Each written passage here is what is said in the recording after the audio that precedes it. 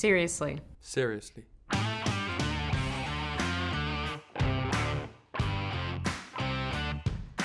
I think the time that we got to spend with each other um, when we were at the hotel, essentially, because we were all on the same floor, the quarantine kind of turned into from a bad thing to a good thing because we all got to bond and spend time with each other. I probably had this moment where I was just like, wow, we're finishing a series of films. We're in Bulgaria. We're all here together. This is kind of a magical moment and it's something to be grateful for. I think any scene that was shot outside, because a lot of the outfits I was wearing were very short and it was it was very cold outside. I was freezing and I had a suit and multiple layers, whereas Joe and the other girls are in, you know, yeah, dresses and heels and they can't layer up as much. So the forces of nature are often the kind of biggest obstacles.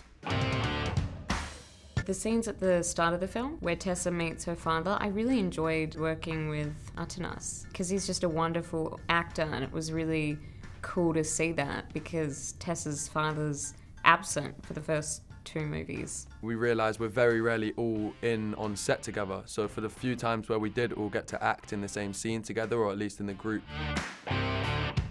I think her curiosity and her intelligence and Tessa's ability to forgive and her strength and she's very resilient. She's been through a lot and I think she's slowly over the course of these films starting to shut down because there's a lot that's going on in her life. He's incredibly intelligent, super independent. The things he cares about, he cares with his whole heart and um, is extremely loyal and passionate about.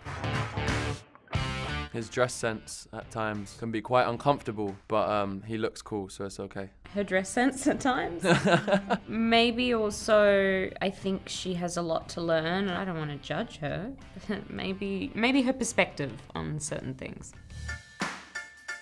Sometimes it can feel like, what if there was something else that could take its place? Like, are we doing enough? Are we doing the right thing? Are we achieving something with this scene? And are we telling a story? And you want the scene to be doing multiple things at the same time and really have a purpose. And I, I think probably that. I find the scenes very easy because I think it's just like a dance. I think with the intimacy coordinator that we had this year and the practice and kind of, you know, the fact that we've done two films with multiple intimate scenes in each of them, I think we're quite comfortable doing those scenes now.